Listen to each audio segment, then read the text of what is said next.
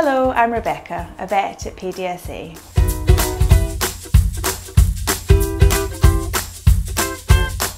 Diarrhea is often caused by dogs eating something that they shouldn't have. Other causes include worms, and less commonly, they may have picked up a bug or developed a bowel condition.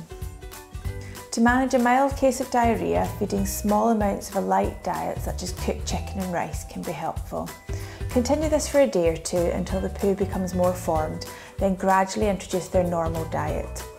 Ensure your dog's regular worming regime is up to date with a veterinary recommended wormer.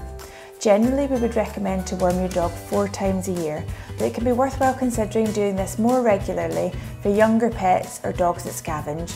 Speak to your vet or vet nurse for individual advice on how often to worm your dog. If your dog is off with their food or unwell in themselves or the diarrhea is persistent, then you should pop them along to your vet for a checkup. If your pet is lethargic, then of course you must take them to the vet straight away. I hope that's been useful. For more pet care tips, take a look at our other videos online.